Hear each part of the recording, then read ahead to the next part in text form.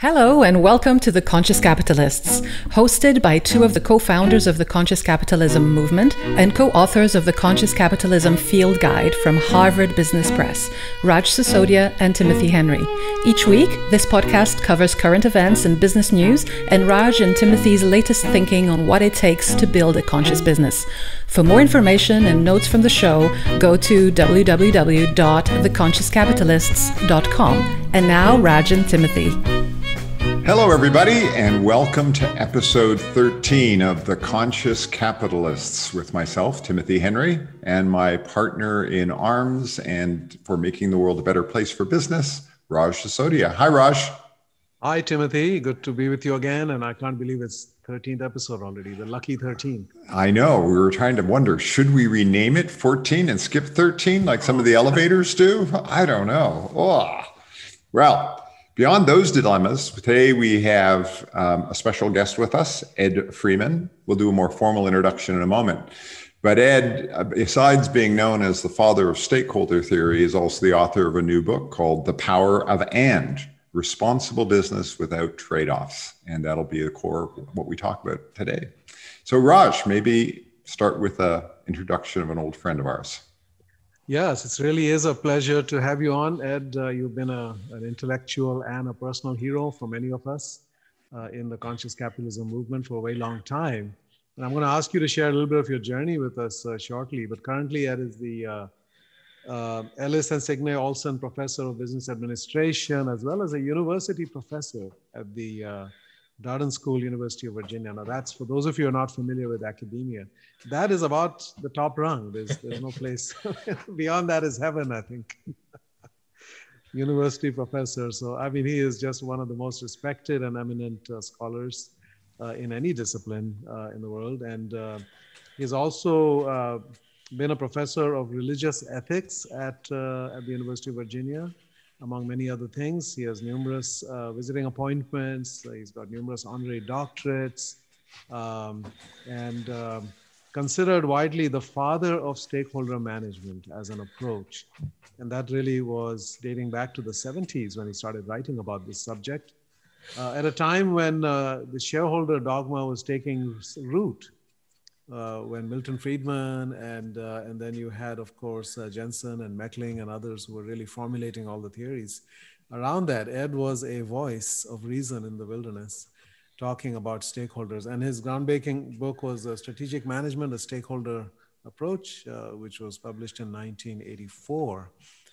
Uh, my introduction to Ed really happened uh, in the early 2000s when I was working on Firms of Endearment and my co-author David Wolfe uh, kept referring to Ed's work, and then I started uh, reading into it. I said, "Wow, yeah, this is what we're talking about." So, and then we of course got to meet Ed, and he came to our first Conscious Capitalism conference. So, it's just been a delight. And for those who don't know Ed at a human level, in addition to being a world-class scholar and author and speaker, he's also a gourmet chef.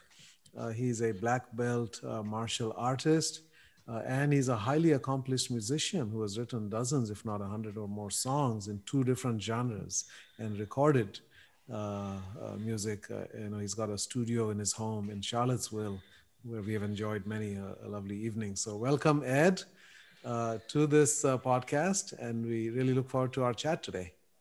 Thanks, Raj, and thanks, Timothy. It's really good to be here with the two of you. Yeah, so if you could start and just tell us uh, about your journey.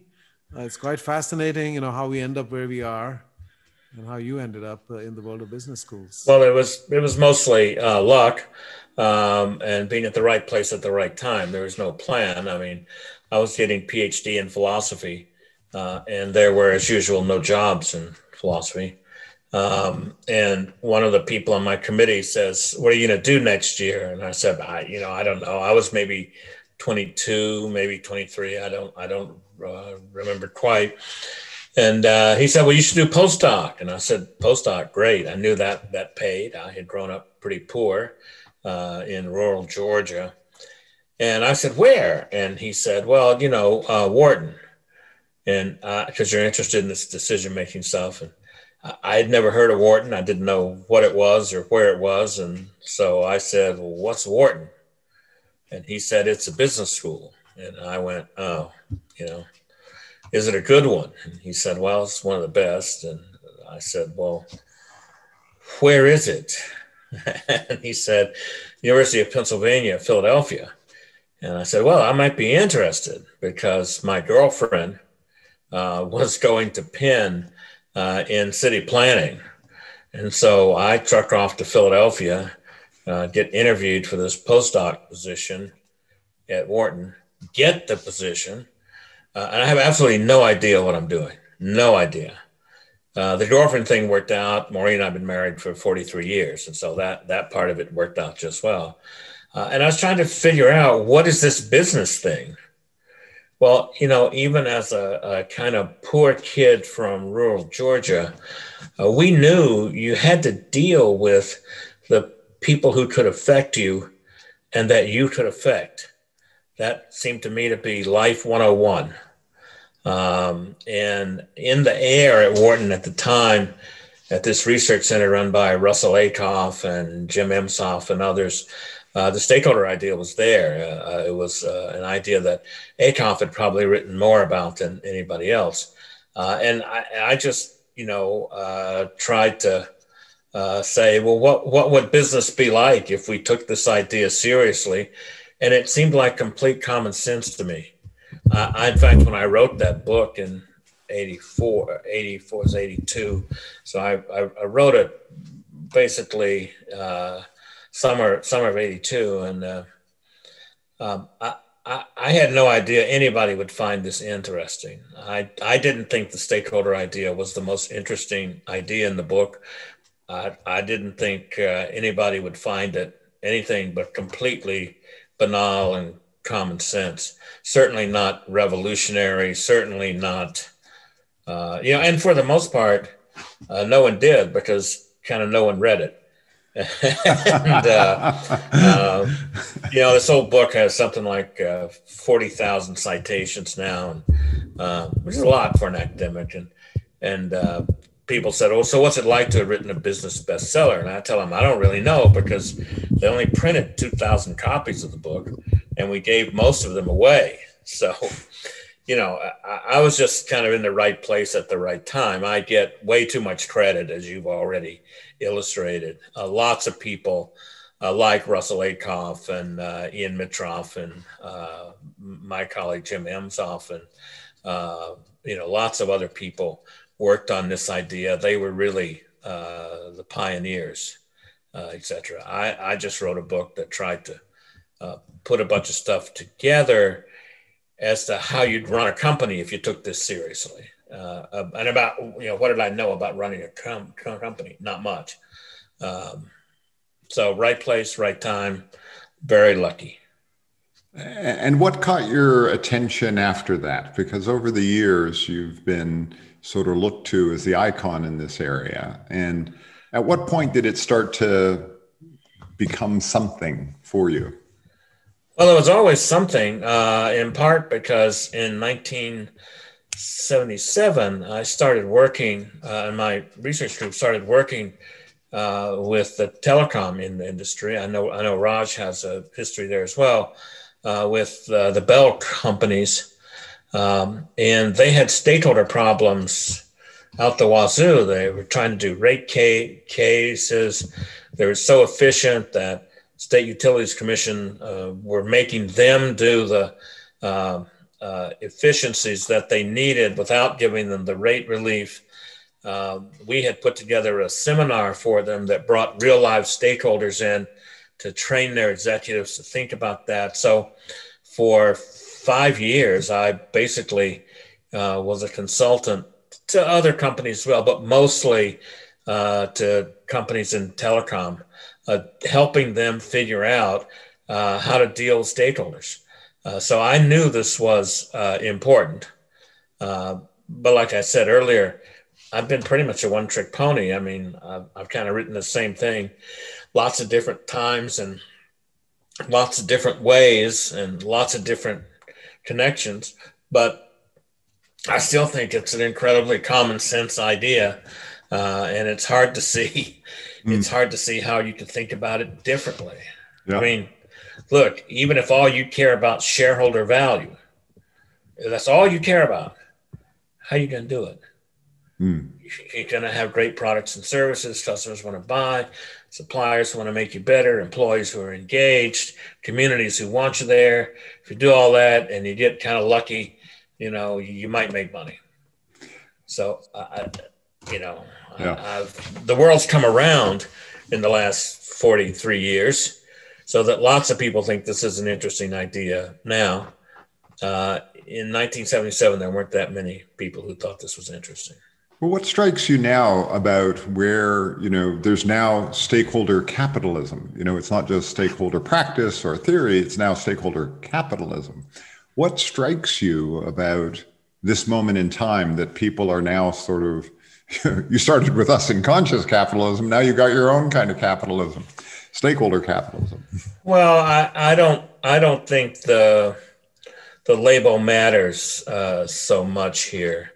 Uh, we were at a meeting, Raj. I think you were you were there. I know Kip Tindell was there and Jeff Cherry at the White House that Tom Tom Perez uh, ran about what's the right brand for this stuff and all the people uh, you know who were the thought leaders in this stuff uh, like Raj and Kip and others you know they were all there people from just capital people from inclusive capitalism people who are uh, uh, you know, impact investors and ESG investors, and you know, there are 40 of these things.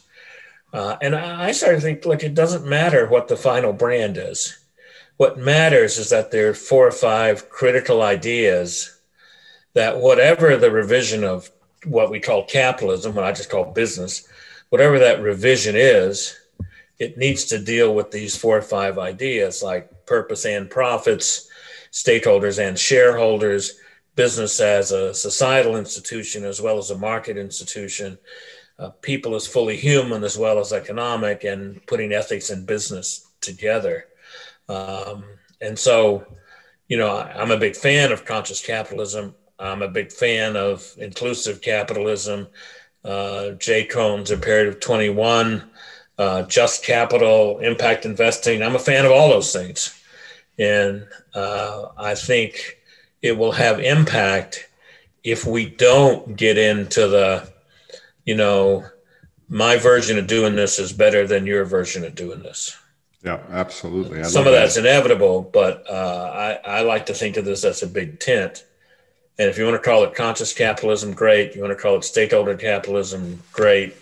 You want to call it something else, I don't really care. It is worth interesting. It is interesting to note that the so called father of capitalism, Adam Smith, never used the word. Mm. Uh, you know, where did we get the word capitalism? Well, it, it came from Marx. And that's a that's a that's a lot like letting the enemy, you know, name your favorite football team. Uh, it's not the Washington football team equivalent. Well, that's what, what it's going to turn out to be, you know. So um, I like to think about capitalism has a lot of baggage uh, to it, uh, and you can spend endless arguments trying to sort out what it really is. Um, I'm really interested in how business works. Mm. Um, you know, and I think it works best when there's uh, in a free society where there's uh, property rights and voluntary exchange and um, people take responsibility for what they do. Um, Adam Smith thought the same thing. I love that. And um, in your new book, The Power of And, uh, you go into great detail on those five. You've got a, a, chapter on each one. You set it up and you frame it really well. And then each one has a, a chapter where you go into a little more detail with examples and, uh, and explaining it in more depth. And, you know, a, as you think about those five, and, um, you know, I know this is difficult because sometimes, you know, we, we all have children and, you know, which is your favorite child? But if you were going to advise uh, somebody who's beginning on this journey of the five different areas that you spoke about, about purpose, about stakeholders, about business and society, about the humanness of people and business, and, and then the fifth about uh, the ethics and, and values that are important. Where do you sort of begin that discussion with someone who's coming to you and say, Ed, help me, where do I start? Well, I, I, I mean, I don't think there's one magical place. I mean, the the fool's errand that most academics make is to find the one and only one way of doing things for all businesses at all times in all situations under any circumstances. Uh, business is what we philosophers would call um, a family resemblance idea. Uh, we kind of know what they are, but we couldn't define uh, something that's conscious of all of them, that, that's true of all of them. Uh, so uh, business businesses has this, you know, incredible amount of variation. A lot of companies, uh, if they've lost their sense of purpose, they'll start with that. Um, a lot of entrepreneurs have a sense of pur- purpose, but they labor under this old story that it's all about the money. Uh, so uh, in that case, you, you'd probably start with the uh, if it's a if it's a small business as well, you'd start with getting them to understand who their stakeholders are, and how those stakeholders are interdependent, and how you you can escape this idea that economists just love that there's always a trade-off. Um, and so you know it, it, it really it really de- it really depends. I, I tend to favor because there's so many misconceptions about purpose people think they have it if they can write it down. But, you know, purpose lives in the systems, in the processes. Uh, it, it, doesn't live on the mouse pads and the uh, cross stitch statement on the wall. Mm. Uh, and you really have to take apart, especially if you're a big com- company, you have to take apart those systems and processes that were probably aimed at making as much money as you possibly can. Mm-hmm. Uh, and and again, look at the effects of those processes, et cetera, on what you're trying to do with stakeholders. Um, the other place to start uh, is sort of within those by by trying to get people to understand that you have relationships with stakeholders. Mm-hmm. It's not a set of transactions. And many companies still see, well, there's this transaction, and then tomorrow there'll be another one, and the next day there'll be another one. And seeing the world in transactional terms is very different than seeing it in relational terms. Hmm. Uh, the example I love is if I were to go next door now, where my wife Maureen is working, and I said, uh, you know, baby, I, I've been thinking about these last 43 years, and I think you're up three. I think you owe me three. I, am pretty sure I know what the outcome of that would be, and it wouldn't be pretty. Uh, she's a second degree black belt in Taekwondo, mm. and uh, that wouldn't be good for me. Why? In relationships, there's a presumption it's going to continue, and you don't keep score. Mm. You know, you know. Sometimes you have to step back and say, "Wait a minute, this isn't working." we need to renegotiate the terms or in the relationship. Of course, that happens, but you don't keep score every day. No. And if you have to keep score every day, that's not really a very good relationship. Uh, we know this in our personal lives. Uh, it seems eminently true in business as well. I love that, Ed. And I, what I like about that is that relational element brings up a, an interesting angle as well, which is at the core of many relationships is trust, including our personal relationships, but particularly our business relationships. I trust that you're going to watch out for my interest. I trust yeah. that if I compromise today, you'll compromise tomorrow, and at some point this will feel equal and or at least balanced in some kind of way. And, and I'm curious, you know. Um, that idea of trust in relationships how do you think that applies to this idea well it's look it's complicated. Uh, as a as a society we have not much trust in business. Now if you if you ask people as an institution yet if you ask people uh, do you trust the businesses that you know very well that you that you do business with trust is higher. Uh, and so it's a it's a curious thing that we have this this idea of business as this sort of uh, you know drunk uncle relative uh, that's pretty much immoral most of the time, uh, that we talk about in kind of hushed tones, uh, and we wish we didn't have to. Uh, and you know, teaching business ethics, which I do, must be a short course, oxymoron, contradiction. You know, I didn't know business had any theoretical subject. I've heard most of them. Uh, so there's low trust in business, low trust in big business, uh, high trust in small, higher trust in smaller biz, business, but it's really a, a, a, one at a time, one stakeholder at a time idea. Uh, my take on the companies that Raj and his co-authors talked about in firms of endearment is these were companies that built trust uh, with pretty much every uh, interaction uh, with with their stakeholders. Uh, I'll, I'll never forget uh, Jim Burke, who was the CEO of Johnson and Johnson when the extra strength Tylenol uh, poisoning happened and eight people were killed through no fault of John Johnson Johnson. Uh, Burke took Tylenol off the market, $500 million off the bottom line.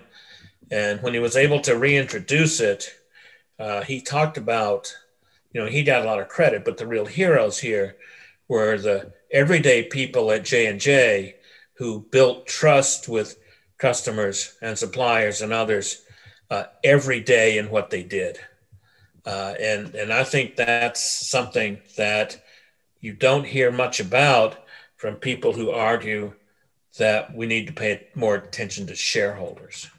So, Ed, this idea of uh, uh, shareholder value maximization, you know, which uh, I think is, I say it's probably one of the most harmful and dangerous ideas, uh, damaging ideas that we've ever had, because it has hurt pretty much everybody. It has hurt employees, definitely. If you look at worker pay, you know, they're just a cost to be minimized. I think it has hurt customers because we're trying to maximize sales and do whatever we need to do to convert them into customers and keep them as customers. It has hurt the environment. It has hurt communities which have been abandoned in the pursuit of higher shareholder value. So it's hurt everybody, including shareholders. So there's lots of data at the aggregate level that since the 1970s, overall performance has actually gone down. Mm-hmm. And I think it has been the single factor, biggest factor in damaging capitalism itself. Because that language doesn't inspire anybody. That language actually puts you you know, in the category of somebody who's greedy and exploitative and uh, and so forth. So I think, and I do remember distinctly a few years ago we were at Fordham University uh, uh at some conference, and Michael Jensen was there, and you and he both spoke back to back, and he basically stood up and apologized. Uh, for his life's work, he said agency theory has done more harm. You know, the idea that managers should act as agents on behalf of shareholders. That idea has done more harm than any other idea you know that uh, that we've come up with. So i think this whole debate we can frame it as this is proactively good for all of our stakeholders of course. But on the other side that other idea has been so harmful and has hurt everybody connected with business. Well i think that's uh, that's mostly right uh, raj. I don't think it's hurt everybody because there's some companies that haven't managed to pull off maximizing shareholder value and trade-offs. Uh, but for the most part i think you're right uh, I've become friends with Mike uh, Jensen over over the years, uh, and of course, he has devoted the rest of his life to thinking about uh, integrity. Now, he has a particular stylized way to think about that, but he, he, I think what he would say now is that if you do agency theory without a sense of integrity, you're going to do harm. Uh, he's also written about uh, the importance of uh, listening to stakeholders uh, and people who want to talk about that. Uh, my colleague uh, Bobby Parmar has uh, uh, done a film with documentarian Paul Wagner. you know, you were in the you you're in the film, and they spent a long time with Michael Jen, Jensen, and he says, like at that Fordham conference, he says, "Look, people make mistakes. Bill and I did." Uh, and that's a fairly resounding, you know, um, admission uh, from, uh, you, know, he says, you know, that stop thinking that you got to maximize the stock price. Well, the problem, you know, after the global financial crisis, many finance uh, professors said, "Well, you know, wait, wait, wait. We didn't we didn't mean maximize short-term share price. We we meant maximize long-term shareholder value." And my response to that is, wait a minute, I, I'm not a positivist. I, I don't I don't believe in this idea uh, that you know the empirical analysis of the world is all that's real. I said, but most of you are, and and and the only thing that's observable is short-term shareholder price. I mean, the, the problem here actually is this distinction between short-term and long-term for so many years, and I, I know uh, you two have heard the same thing. People have said, Ed, the stakeholder stuff makes sense in the long term, doesn't make sense in the short term. But this Ed, this ethics stuff makes sense in the in the long term, not in the short term. Well, now wait a minute. Let's let's be let's let's apply some logic here. Short term doesn't make sense. Long term it does. Well, the long term moves. The long term moves. It never gets to the long term because, of course, we live life in the short term. Life exists in the short term, in the now. And so we often use this short term, long term distinction as a way of uh, really saying, I don't think this stuff works. You know, what I want people to do is figure out how to create value for stakeholders now and then keep it up. I mean, that's that's that's what you have to do.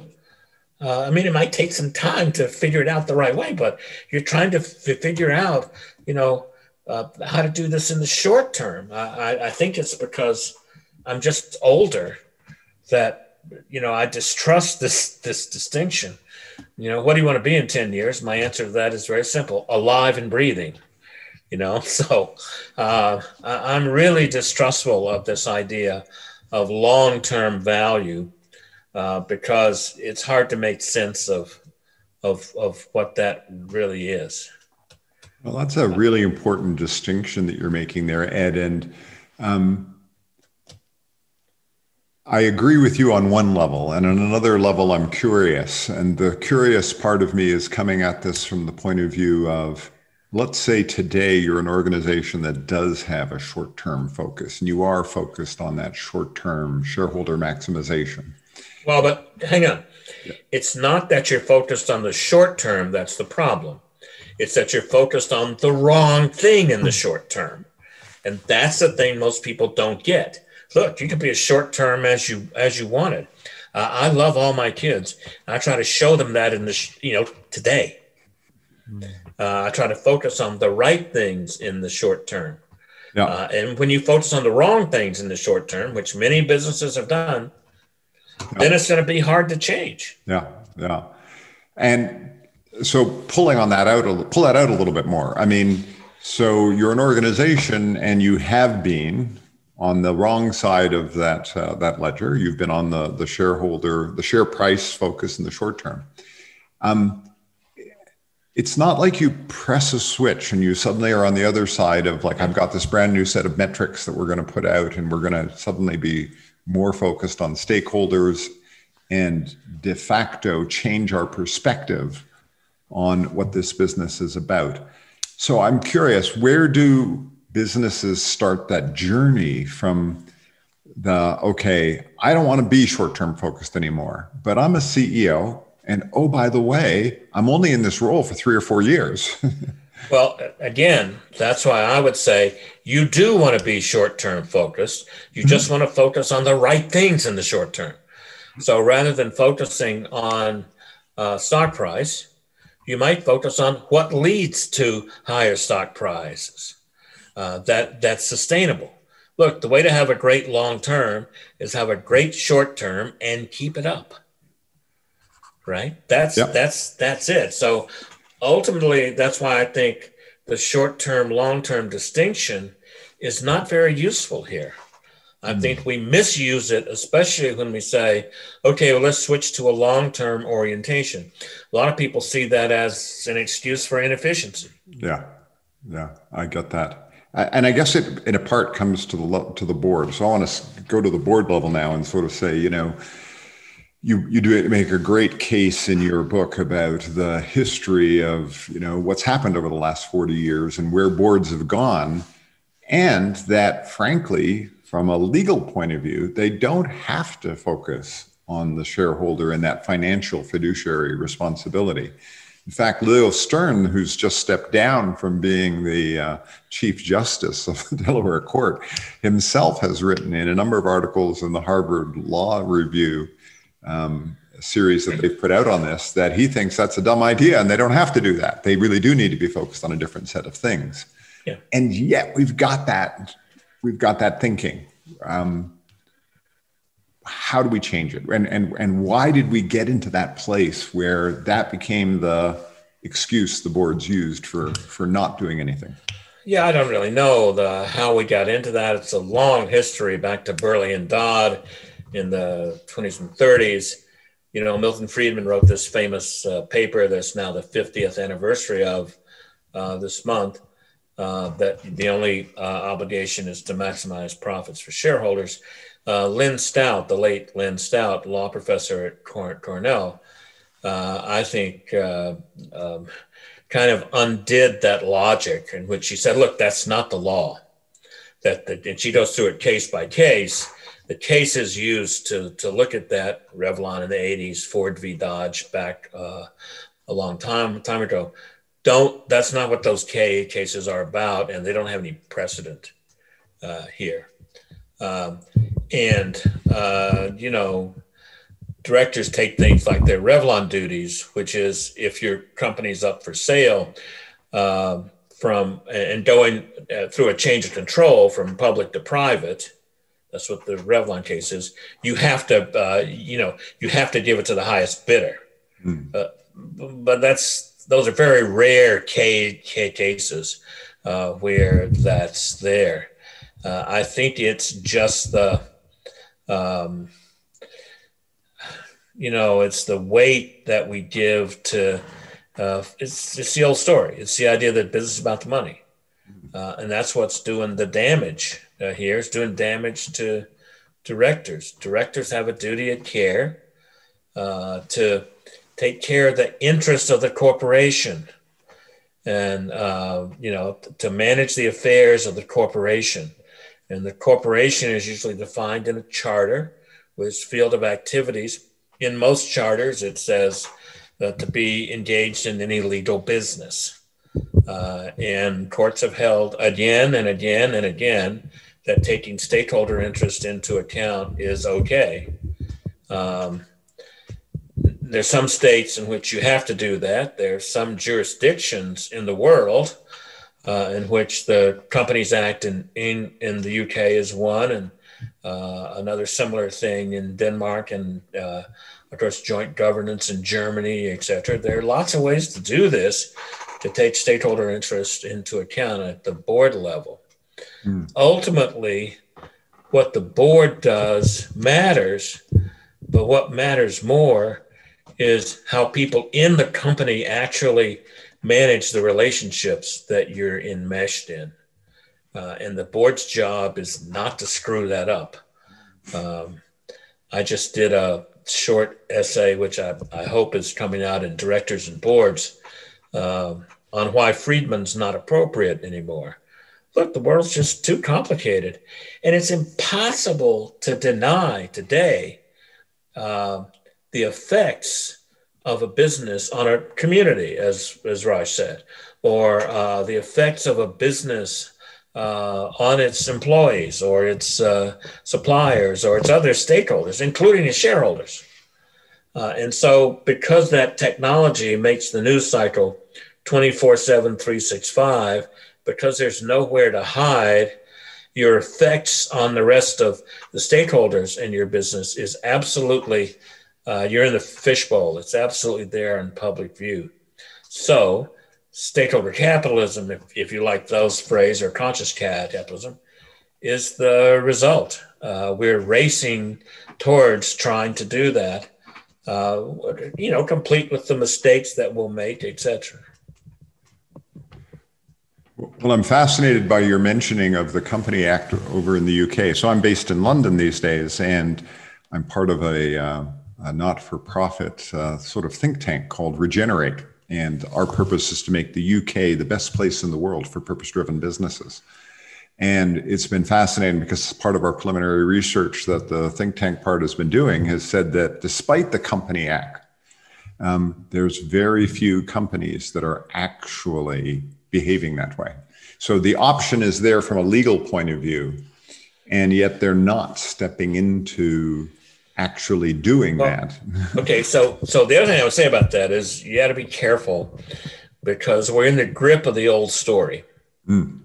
You know, we're in the grip of the old story in which uh, we want to see what goes on. I mean, look, we we engage in this kind of thinking that uh, we call in the book saints and sinners thinking. You know, uh, most businesses are sinners. Uh, they're really kind of morally questionable. They only care about the money. There are a few saints, and when these saints lift their head up, uh, and then they do something wrong, you know, or they say something controversial, like some of our well-known friends in conscious capitalism often do. Uh, no idea what you're talking be- about, Ed. then they become sinners. You know, people go, "Oh, they're really just uh, they're really just in it for the money." Hmm. I don't know any any uh, saints. You know, sorry, I just don't, uh, and I don't know many people who are complete sinners all the time, aside from some politicians, and uh, and that's a nonpartisan state statement from me. But you know, we got to stop this. Uh, and and people who who do what we do, teaching business schools and teach about this stuff, are the worst at it. We find our favorite companies, uh, we canonize them, uh, and we we find our favorite uh, uh, sort of whipping boys, and we and we beat up on them. Oscar Wilde said it better. Uh, every saint's got a past, every sinner's got a future. Hmm. Uh, we need to see business in completely human terms.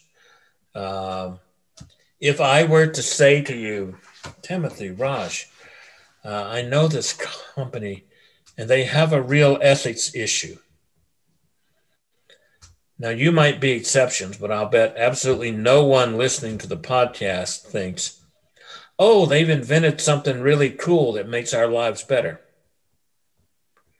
generally we see ethics as something bad has happened hmm. or somebody's been harmed.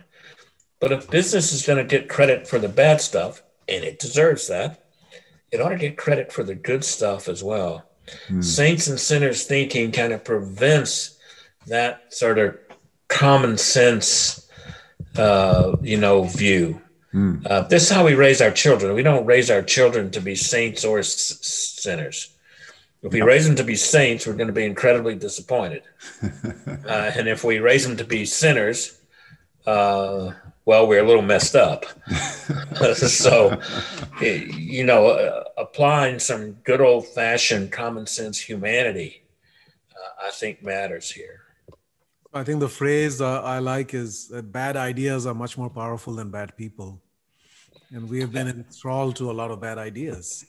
I think in business and capitalism and in society yeah. generally. And I think all of us are engaged in this uh, uh, quest to bring about better ideas. And I think you, you call it a new story for business. Right? I think that is really the framing. Uh, what about the language Ed, that I've seen? For example, HEB, the biggest grocery chain in uh, in Texas, a really wonderful company uh, started by the grandmother of the current CEO. And their mantra is the CEO tells all the people, we need to pay our people as much as possible. Uh, speaking about employees, right? And yeah. they actually have far better wages and benefits than Walmart, even though their prices are, are lower than Walmart, right?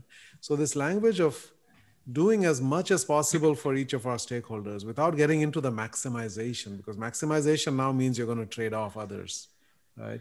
So is that we can only ma- maximize one at a time. You can't right. ma- maximize over five.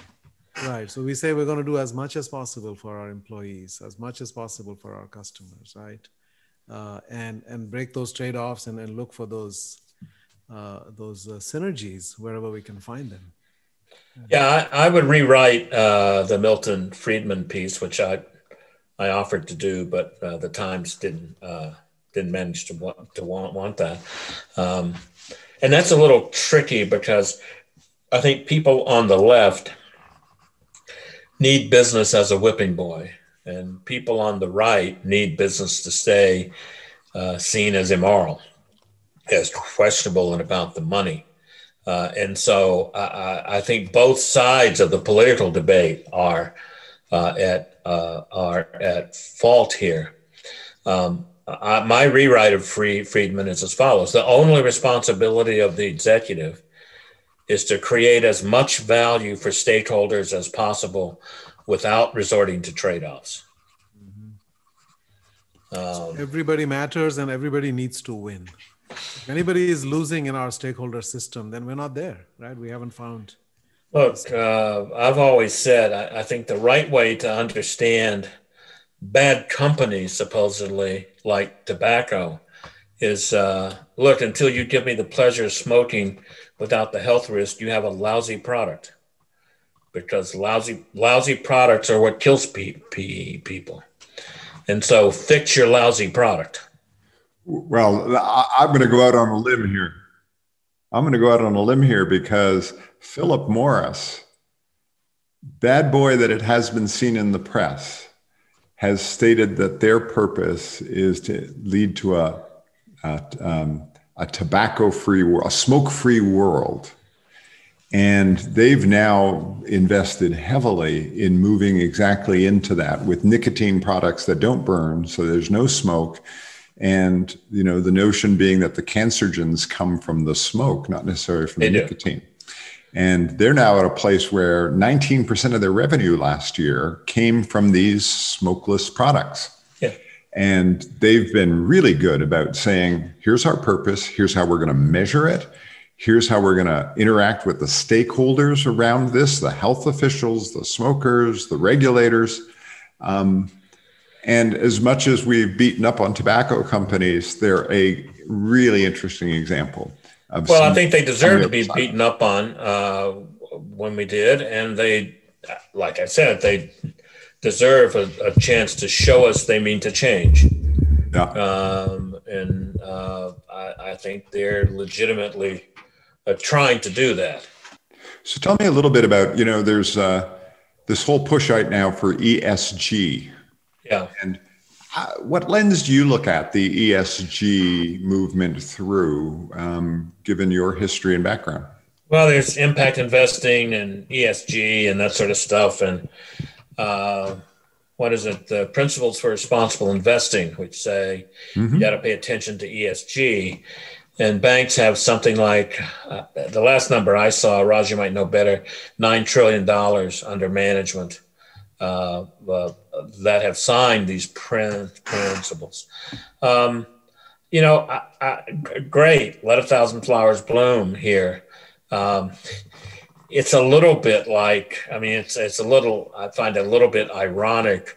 A lot of the finance and accounting people, which have been very much in the grip of the shareholder value story are now you know they're they're the they're the they're the biggest cheerleaders for ESG etc and and they act a little bit like I mean this is part of the academic world they act a little bit like this is their new toy mm-hmm. look people have worked on how how you understand other than economic value uh, since at least the 1950s. Yeah. And so, you know, I don't, uh, what I find new here is that a bunch of people who were pretty hostile to the idea uh, have discovered it. Yeah. You know, just like people in strategy sort of discovered the stakeholder idea sometime in the late 90s. you know, and it's like, yeah, okay. you know, great. We've been talking about this for a long time. Yeah. Yeah. No, I think it's really interesting. I mean, ESG right now, obviously, one of the big critiques of it is that the, there's no clear set of standards and the numbers are moving yeah, but- all over the place. But I'm curious in particular, because around the S, one of the things that people are pushing is stakeholders. And well, look, I, I don't buy this argument that we can't measure this stuff you know and one of the reasons is hey we, we put a person on the moon and brought him back that was a hard problem you know, uh, measuring how what value you create for a community kind of pales beside bringing somebody back from the moon mm. uh, to me. Uh, and plus, there are lots of ways to measure how you're creating value for stakeholders. Every company does it. Every company me- me- me- measures. Uh, Raj, the marketing guy, you know this, measures how it creates value for its customers. Many of them with uh, uh, sophisticated supply chains measure this ar- across the supply chain. Uh, what we don't have is one set of measurements that works for all companies at all times and all circumstances throughout the galaxy. Uh, and once again, I think that's a fool's errand. Mm. What we could have, what we could have, I've proposed this and no one's taken me up on it, uh, probably, thank goodness, uh, we can have stake options. So we figure out how to measure the value that we're creating uh, for customers, suppliers, employees, communities, people with money. Some of the some of those measures might be perceptual me- me- measures, but by the way, that's what stock price is. It's a perceptual me- measure of the analyst uh, and the traders. Uh, and then you could trade, you could do some math, uh, and then you could uh, trade, you could trade these stake options. And I, I, I you know, I'm going to sell you short. I'm going to sell your 90s, your stakeholder nine, your stake 90s short, because I don't think you're going to meet your community satisfaction number. Yeah. Now I know that people in Las Vegas will trade these things. My, my son was a professional poker player for a while, and folks there will bet on anything. Uh, but if you think about it, if this really is how you think um, companies ought to be run in the interest of its stakeholders, so says the Business Roundtable and, and, and others, stake options right away solve executive compensation issues. You, you pay people based on stake options. The other thing stake options do is it gives you feedback from uh, uh, an options market as to how you're doing and what the future look looks like, uh, and and that's extremely valuable uh, for you because if you wait for the stock price, you wait for the stock price to get feedback. In the words of my martial arts instructor, when watching me punch or kick, too late. Mm. right? It's too late. Yeah. You want this you want this feedback as early as possible. And that's what option markets give you. Except that the current ones uh, don't give you very very good data on on things. Yeah. Doesn't that create the problem that in fact profit's a lagging indicator? And what you're talking about is what are those leading indicators that are going to be telling us that the things that are creating that profit are moving in the right direction. Yeah, look, profit's an outcome. Uh, it's an outcome of of how you deal with your other your other state stakeholders. You don't you don't get a penny of pro- profits from shareholders. You get profits because of how you manage customer, suppliers, employees, and communities via their regulation, et cetera, et cetera, re- reputation, et cetera. Uh, it's like it's like happiness. Happiness if you try to maximize happiness, you'll be one of the most miserable people on the face of the earth, right? Happiness is a function of, of uh, uh, who you love, of the relationships that you have. It's a function of what you're doing with your life. Uh, it's not something you can just try to try to do and have it work. But Aristotle knew this. He, he wrote about, about, about this. You know, uh, getting straight what are what are what are things that are outcomes uh, and then if i want to do something about it i do something about the things that lead to the outcomes uh, and again that's one of the reasons the stakeholder idea has always seemed eminently common sense to me so ed you mentioned compensation and um, you know, the compensation question gets complicated pretty quick. I love in your book you point out that, you know, the for example, the CEO pay versus the median, median payment of uh, an employee has gotten way out of control over the last 30 years. Um, and a lot of that comp system has been based on an easy measure, stock price. So where do we go? I mean, you you know, you talk about the stocks option, the stake options, but but I'm wondering if I'm on a comp committee of a board, you know, what, what do we do in the short term to to one either address the ethical issue of that discrepancy, and then two reorient the comp system so that it's focused on the means of production rather than the the outcome. Well, I think one of the first things we do is we stop listening to consultants whose job it is is to run up CEO pay. Uh, there are a number of those. Uh, it's a great gig if you can get it, uh, but they've done a lot of harm.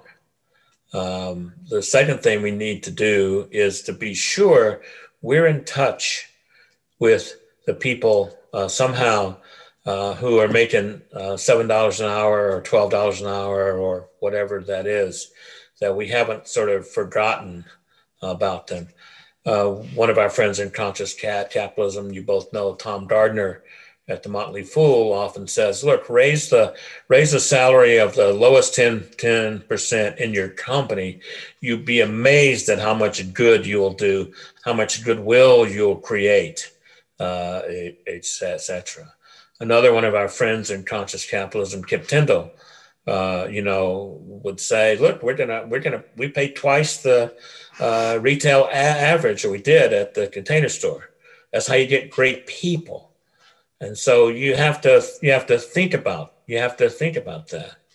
Uh, if you contrast the business models of a Starbucks uh, who would pay people to uh, uh, you know help people with their college uh, and until recently, you know, that was not something that McDonald's did. They, they, they, they, their business model was very di- different, and they had to figure out how to how to how to change it, uh, because you know you, you you're having a hard time getting people to to work there, um, and so I, I think that that makes uh, a lot of sense to to have the board ask the question: Are we paying people? uh, as as as as well as we could.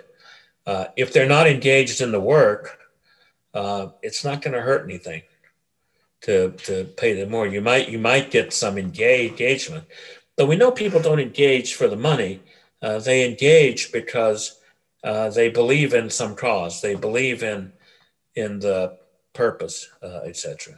but up to a certain point, uh, and some people argue that's about seventy thousand uh, dollars. You got to be able to take care of your family uh, and, and stuff. So, Ed, I was also curious about COVID and the, the these unusual times that we're in right now, where um, some people are arguing more than ever we need to be focused on stakeholders and we need to be shifting, and others are saying, forget that, we just need to get back to normal. Um, what do you think the effect is going to be of, of this strange period of the virus that we're going through? Well, I'm not. I'm just. I'm distrustful of people say we got to get back to normal. Uh, you mean the normal uh, world in which many people don't have any hope, or or do you mean some other nor- normal world? Um, look, I, I. If you think about COVID and you think about global warming and you think about how people are unengaged in the business, and you think about inequality, and you think about the implicit and explicit racism that exists in the world, we are not going to solve those problems by refocusing on shareholder value. it's just not going to happen. If we make progress in making the world a better place due to those challenges, it'll be because business plays a part in figuring out how to create product, services, and institutions that make us better.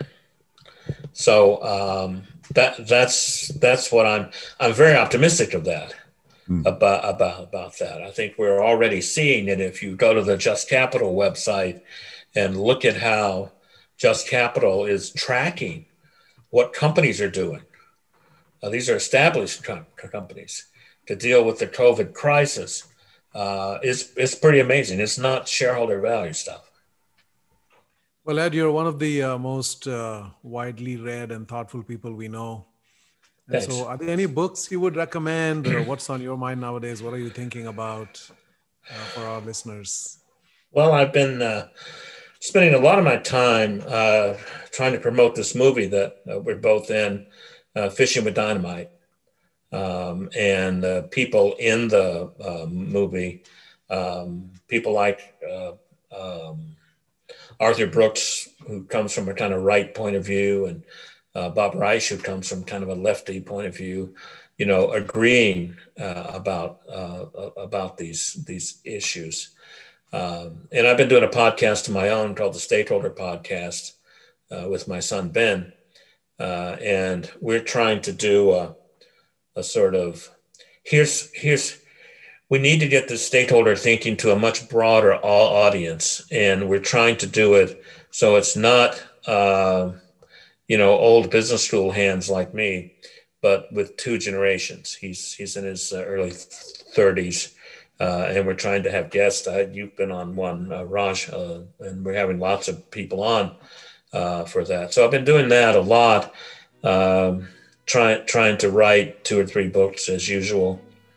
Love it. Well, Ed, thank you so much for your generosity of time and thought today. We really appreciate it. Thank you so much. Thanks. Nice, nice, nice to be with both of you again. Thank you, Ed. Thank you. Really great, great being with you. Thank you. Good. Take care. And thank you all for our listeners. And thank you for subscribing. If you are whatever channel you're watching this on, there is a little subscription button there. Please feel free to hit that subscription button. And if you have any thoughts or comments, go to our website, theconsciouscapitalists.com, and please leave us a message. And don't forget, if you want to know more about conscious capitalism, um, do go to consciouscapitalism.org. There is a plethora of different sources and information that will help you understand conscious capitalism a little bit better. And don't forget to think about going out and getting the book that Ed didn't mention, but he should have The Power of And Responsible Businesses Without Trade Offs. Thanks again, Ed.